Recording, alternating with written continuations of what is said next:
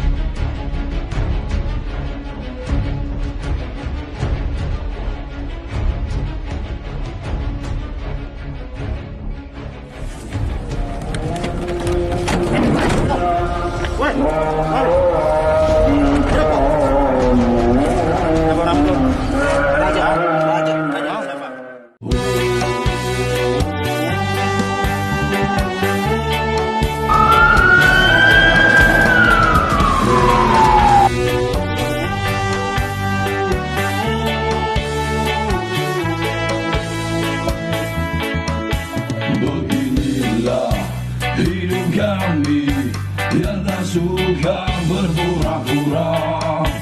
Beginilah hidup kami Kami selalu apa adanya. Jangan kalian pikir kami tidak berguna Kalian hanya bisa menghakimi